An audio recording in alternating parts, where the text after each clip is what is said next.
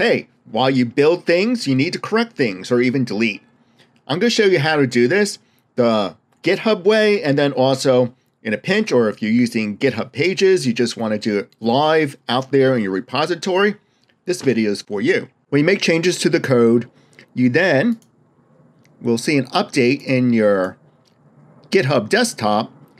You would enter a summary of why you're changing this file, and then you will commit it and then push it live. And afterwards, it shows up in your repository as the corrected file.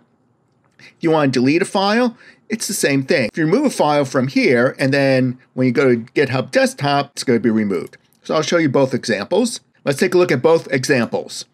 Here I'm going to update, and maybe I just want to make a tiny change like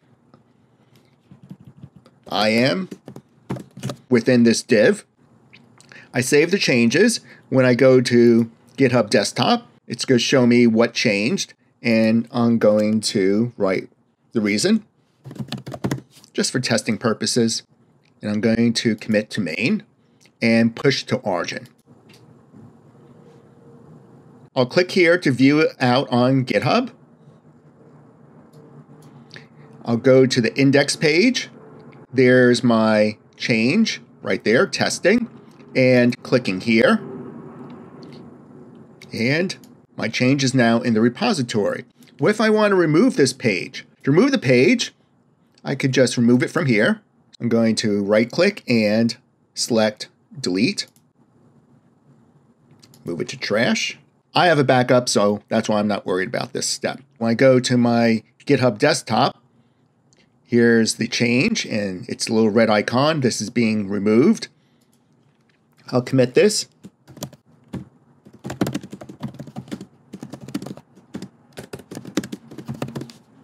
Commit to main and I'll push it to the origin. Click on View on GitHub, and the index page is no longer there.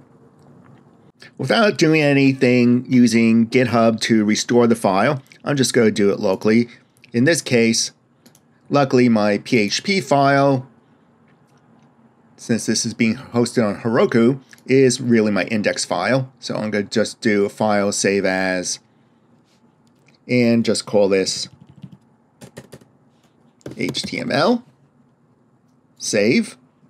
There's my index.html page. Going to GitHub Desktop. Going to add this page. Push it to origin.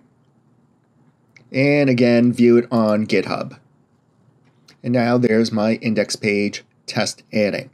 What if you want to change it live out here or remove it right from here? What if you want to edit or delete this file or replace this file? If, I, you, if you want to delete this file, just click here and you would go up here and select delete file. Then commit changes, but I don't want to do that. Let me go back. If you want to edit the file here, you would click this icon, edit this file, and you would edit this file. You should have a good reason to do this, and then you would commit your changes. But I don't want to edit this file here. Let me go back. Instead, I just want to replace this file.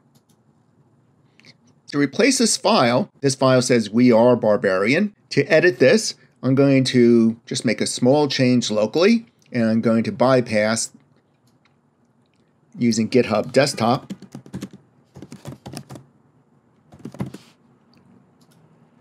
saving this. Using GitHub Pages, you might not have set up your repository in the traditional sense, so you might be just working live online with your bucket of information. Again, right now the index.html page says we are barbarian. Let me go back.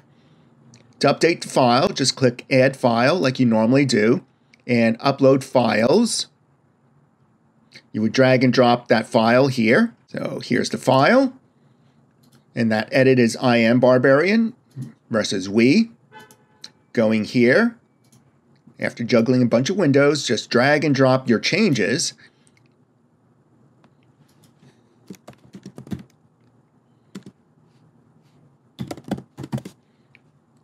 and then click the Commit Changes button. When you go to your repository, you'll see when I click here, that change will be live. So that's how you change files up online in your repository. You can edit it there, you could delete things there, though once you start doing this for real, you should use GitHub Desktop to connect things together.